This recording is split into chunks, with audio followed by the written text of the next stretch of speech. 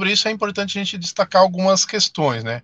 Primeiro, com relação à, à não nomeação do presidente efetivo, é, aqui é importante a gente lembrar que o que aconteceu dentro do, do Conselho de Administração da Celesc, né? Houve um, um, forte movimento por parte, principalmente do acionista minoritário Lírio Parisotto, é, visando tumultuar toda essa situação para prolongar o mandato do ex-presidente Cleiton Poleto Martins é, na companhia.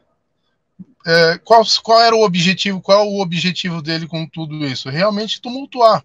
Já havia à disposição do governo de indicar um nome interino, e hoje a Celeste tem um presidente, sim, o Vitor, que ocupa a, a cadeira de presidente, é um funcionário de carreira, um diretor eleito pelos trabalhadores, que tem uh, o seu posicionamento no sentido da manutenção da Celeste Pública. Então, quanto à situação de hoje, nós temos um presidente, né, na condição de interino ou não, mas está tocando as demandas que ficaram paralisadas desde a da eleição de outubro, quando o ex-presidente simplesmente sumiu da empresa depois de, de, de do resultado da, das eleições ser divulgado. Então, é, a, a movimentação no sentido de tentar pressionar o governo do estado a, a, encaminhar, a começar a discussão sobre o processo de privatização vem desse acionista minoritário e não é de hoje. Né? O Lírio Parisotto é um conhecido antigo dos trabalhadores da Celeste que já tentou por diversas vezes é, encaminhar esse processo de privatização, inclusive em 2009 o processo só não avançou porque os trabalhadores organizados com os sindicatos, com seu representante dentro do conselho de administração, invadiram uma sala, uma reunião do conselho e barraram o processo. E novamente, né, aproveitando a situação de mudança de governo, o que a gente está enxergando é esse movimento, essa especulação que parte desse acionista que tem interesse é, meramente de valorizar as ações, né, que ele comprou a um valor muito baixo, para depois ter o lucro com isso. Então, é o que nós enxergamos, o que nós esperamos é que o governador eleito ele indique para ocupar a presidência alguém que esteja alinhado com o compromisso que ele mesmo assumiu em duas oportunidades de manter a Celeste como empresa pública, manter o caráter público, mantendo assim o papel social que a Celesc tem, importantíssimo dentro do estado de Santa Catarina, mantendo a condição da Celesc como empresa propulsora do desenvolvimento do estado. Então, é isso que os trabalhadores esperam.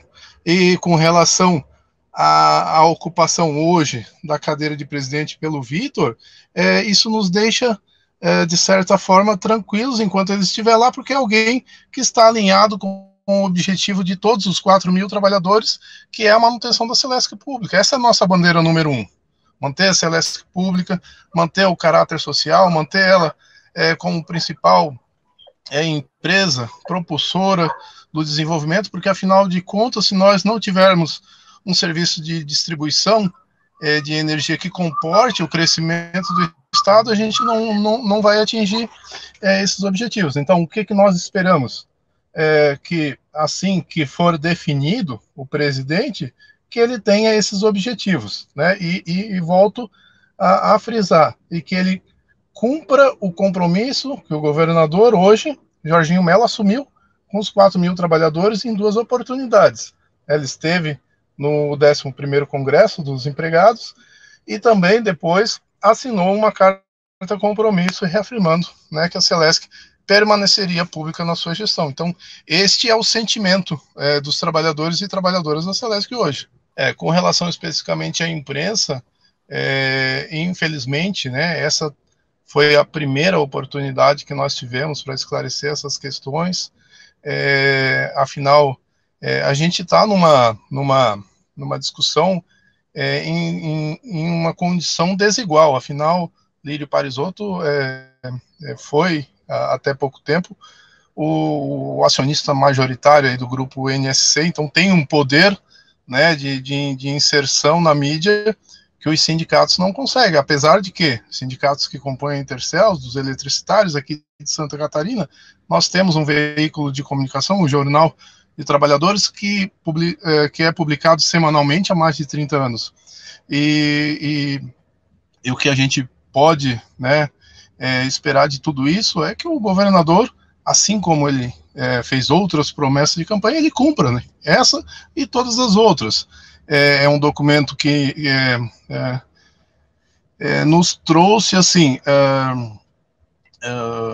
uma, pelo menos firmou um compromisso, por mais que não tenha tanta validade, mas sim, cabe a nós acreditar na palavra do governador e caso ele descumpra aí essa, a categoria vai sem sombra de dúvidas é, lutar com todas as armas disponíveis para manter essa empresa que é um patrimônio de todos os catarinenses né, vai além dos 4 mil trabalhadores. A Celesc é o maior patrimônio do Estado, é uma empresa com é, quase 70 anos de história. Então, é, é, essa discussão ela não é assim tão simplória de se fazer. Nós temos na Constituição do Estado um dispositivo que prevê que qualquer mudança no controle acionário da empresa ela precisa é, passar por uma consulta popular. Então, quem deve decidir é, o, o, futuro da Celeste como empresa pública são os verdadeiros donos, que é a, a sociedade catarinense, que é a população do Estado. Então é isso que nós esperamos.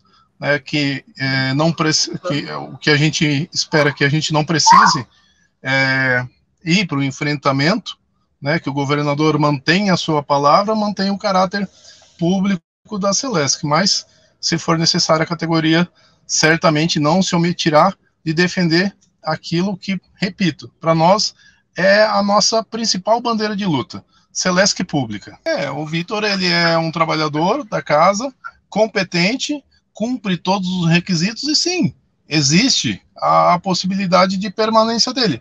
Agora é uma questão que, que é, é, imagina-se que vai ser discutida no âmbito da articulação do governo, composição de, é, de governo, afinal, o Celeste, como eu já, já, já falei, é, tem um papel é, fundamental né, para o desenvolvimento de Santa Catarina, e a Celesc vem apresentando, se apresentando como empresa que dá resultados, uma empresa que tem sido referência no país e até na América Latina, como uma das melhores distribuidoras. Então, uh, nós acreditamos que, que o objetivo do governo não seja se desfazer desse patrimônio tão valioso. E é, se for né, a, a, a escolha do governador de manter o atual presidente, Vitor, que é funcionário de carreira e que tem esse compromisso com a manutenção da Celeste Pública, ob, obviamente é, será dada continuidade é, nesse projeto né, de Celeste Pública